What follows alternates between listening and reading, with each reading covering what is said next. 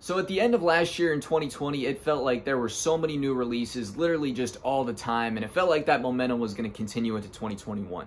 And I think it certainly has. We've had a lot of sneakers that are really good that have come out already, and we have plenty more that are coming out on the horizon here, including this pair, which I decided to pick up a little bit early to take a look at. The original release date was uh, supposed to be around the end of January, but it looks like it got pushed back to the end of February. But this right here is the Air Jordan 4 Taupe Haze that I believe officially drops on February 27th for retail price of 200 bucks.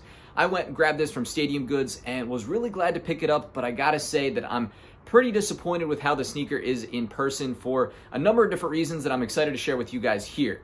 But that doesn't take away from the overall look of the shoe. It's still a good shoe. I want to convey that, but there are some things you definitely need to know before you go and pick up this shoe for yourself because I was definitely surprised. So be sure to hit that subscribe button to keep it locked to the channel here for all my future reviews. I'm here on YouTube almost every single day, sharing my new pickups with you guys here.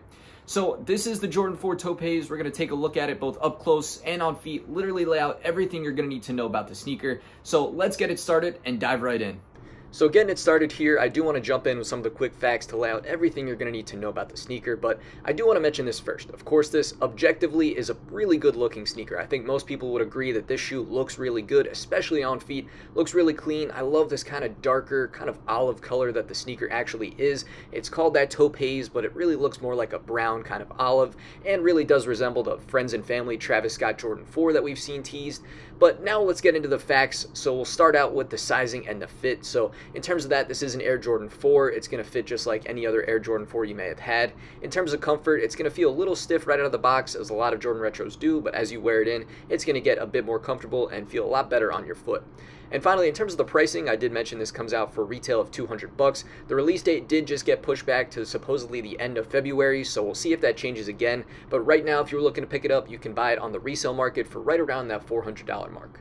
So as we take a look at the shoe, I do want to mention what I was talking about in terms of why I'm disappointed with this sneaker. Again, I said objectively, I think the shoe looks really good, really clean on feet, but my disappointments lie in some of the materials. As you take a closer look at the shoe, we can start out with the lateral side. You can see it's made up of primarily two different materials, one of which being a really nice suede, and then this other type of material called this maybe cracked leather. That's exactly what it looks like. You can see it's all cracked and honestly just looks a little weird. I, I couldn't exactly see this on the photos. I didn't know was exactly going to be like this. It was hard to tell.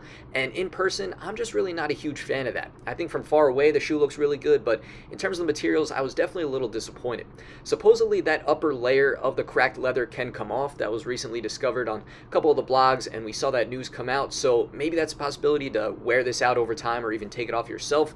So it's an interesting shoe, and I can't knock Jordan for that. You know, I definitely appreciate them trying different things. I can't say I've seen this cracked leather on too many other Jordans before, but to me, I wasn't totally expecting it, and I'm not a huge fan of it, so I just wanted to make sure you guys could see that and understand what I'm talking about from that point of view. So as for the rest of the shoe, you can see it's entirely made up of that haze color, black, white, and that infrared 23, bright red color behind the tongue.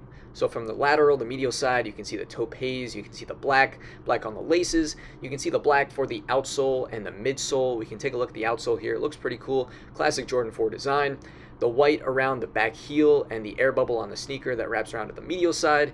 You got black laces on the sneaker. You got that black netting running up the four all the way up through the tongue. On the top of the tongue, you can see it's haze. You can really see more of that cracked leather and that infrared 23 Jumpman with flight written below it in black.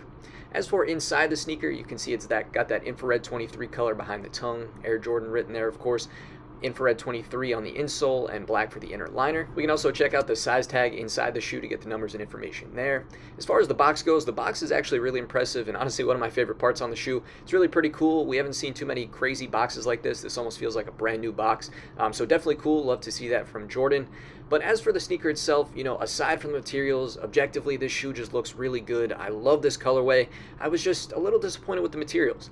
But as for a final rating and opinion on a scale out of 10 of where this sneaker is going to get chalked up for me, I still think this has got to be an easy 8.5 out of 10. The shoe is way too clean, it looks way too nice, and I think a lot of people are really going to be going after this on its release day, so I'm definitely a big fan, just was disappointed with the materials. So listen, this was the Haze Air Jordan 4. We've taken a full look at it both up close and on feet, And objectively, this is a really good sneaker. I think a lot of people are going to go for it. It's going to be an instant sellout when it does drop at the end of February here.